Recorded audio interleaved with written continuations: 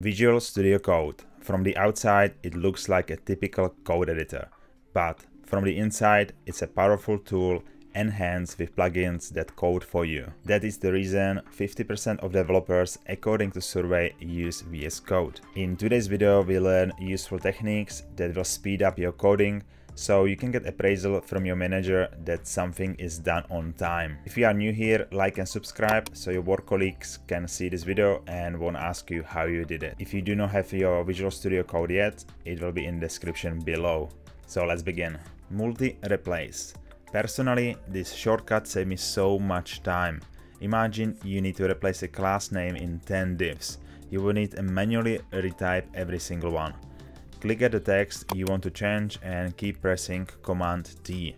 You can see that the text is selected and now you can replace it with a new one. Moving and deleting lines. If you want to move your code few lines down, you can use copy and paste. But there is a better way.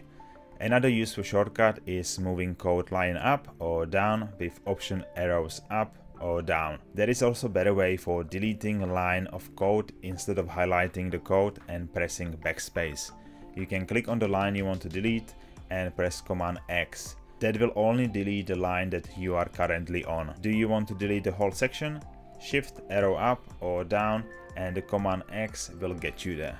Auto rename tag. Control and click will help you select multiple lines and text in multiple places. You can also use it to change HTML tags, but there is a better way and it is Auto Rename Tag plugin.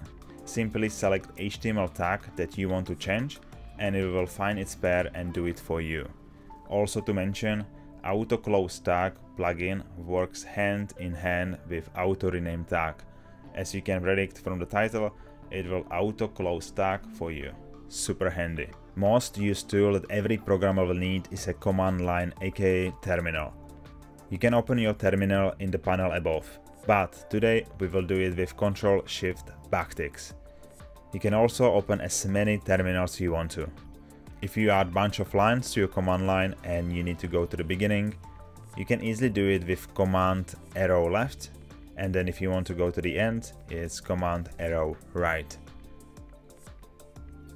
If you already typed it and you got error, you can clear it with command K and then access the previous command with arrow up or down. Or just type a history and you will see all commands that you used. Simply then press the number and the command gets selected. That's all from terminal for now we do not want to have it open anymore, so we close it with Control and backticks. Command palette. Sometimes working with many files gets messy. You close one file and realize it was the wrong one. Instead of searching where it can be, you can open history of files that you used with Command P. That will bring a command palette there. Also you can search files, which is very handy. Having multiple screens open is pretty useful, especially if you are styling and you need to look at which class did you use. With command backslash, you will open another screen. Change files in current slice with Ctrl 1 or Ctrl 2, depending how many files do you have. In order to change slices, we can do it with Command 1 or Command 2.